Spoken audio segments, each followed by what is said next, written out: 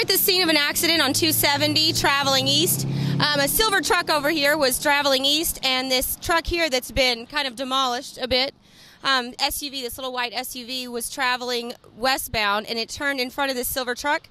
And the white vehicle has spun all the way around, and they just took the driver um, to the hospital, complaining of a couple of um, possible injuries.